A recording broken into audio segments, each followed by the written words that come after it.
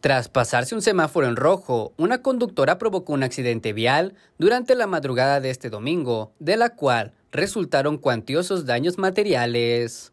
El percance tuvo lugar en el cruce de Becarrance y Periférico Luis Echeverría Álvarez, bajo el puente, en la que la presunta responsable aparece la conductora de un vehículo color gris que circulaba de norte a sur y al llegar al cruce se impactó contra un auto compacto y un auto deportivo.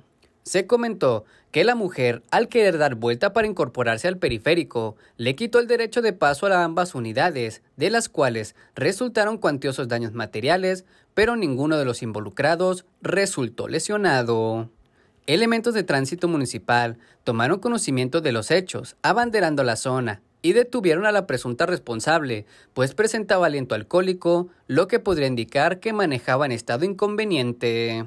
Personal de grúas remolcaron ambas unidades siniestradas hasta un corralón, donde permanecerán hasta que se paguen por los daños ocasionados.